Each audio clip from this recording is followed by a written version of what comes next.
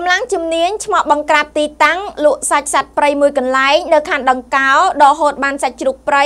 និងសាច់ឆ្លូសជិត20គីឡូ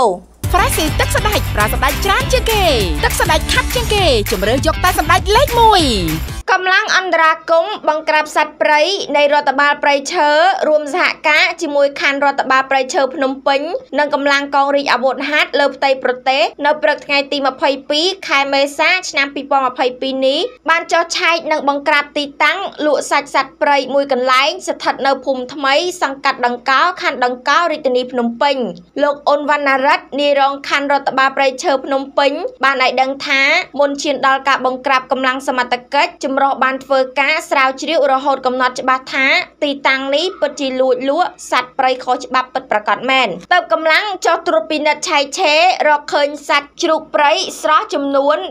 5.50គីឡូក្រាមសាច់សត្វឆ្លូសចំនួន10គីឡូក្រាមក្រោយពិនិត្យឃើញជាក់ស្ដែងសមត្ថកិច្ចបានដកហូតសាច់ជ្រូកទាំងនោះនិងបានណែនាំទៅលើម្ចាស់ទីតាំងរួមធ្វើការពិន័យទៅតាមផ្លូវច្បាប់ដោយមិនមានការខាត់មនុស្សនោះទេលោកអ៊ុនវណ្ណារិទ្ធប្រាប់បញ្ជាក់ឲ្យដឹងថា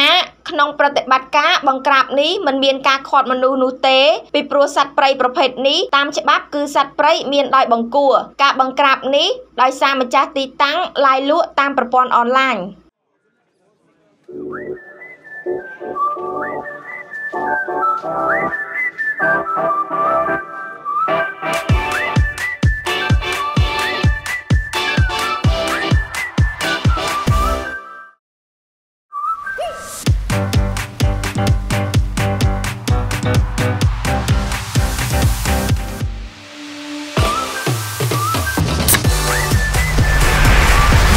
feel so fresh. You make me feel so cool. You make me feel so fresh. Freshy ទឹកប្រឡាយ Freshy ឆ្ងាញ់ស្រស់ស្រាយត្រជាក់ចាន